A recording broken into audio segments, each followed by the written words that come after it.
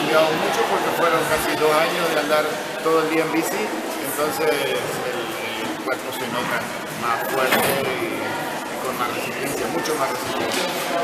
¿Cómo te sentís al llegar a un nuevo destino? Todos los días son un nuevo destino en el viaje. Todos los días se cambia de, de una ciudad a otra, así que todos los días una incertidumbre de ver dónde vas a dormir y, y qué es lo que tiene de para ver la, la ciudad. que vas a conocer.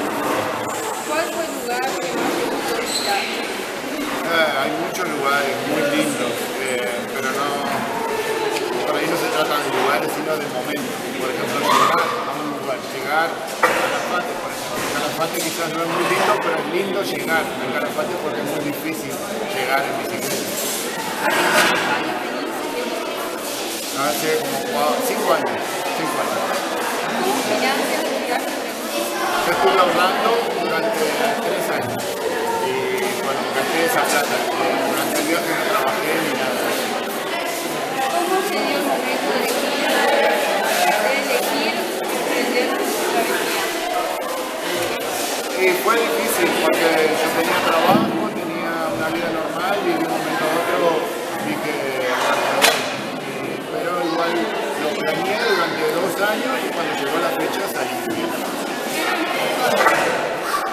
Me impulsó a hacerlo, a hacer algo distinto, a hacer algo eh, extraordinario de la vida, no, no seguir con la vida normal de. ¿Los viajes los realizan en solitario o acompañado? Solitario, casi siempre voy solo, a veces encuentro a alguien en, en el camino, pero si no solo.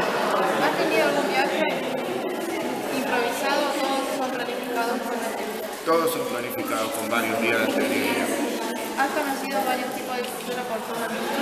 Sí, he pasado por lugares que tienen muy bajos recursos, como Bolivia, y también lugares donde se vive de otra manera, como Italia o Eslovenia.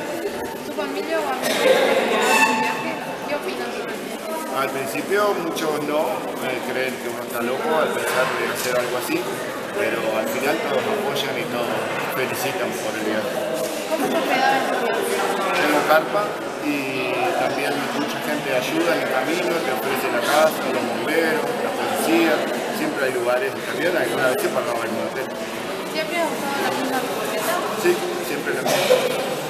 En caso de que se rompa alguna parte de la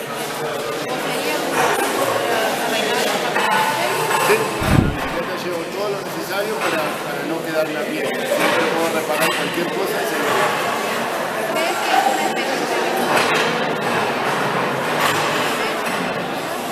que es muy importante hacer una locura, una travesura de este tipo porque te cambia, te cambia la forma de ver las cosas.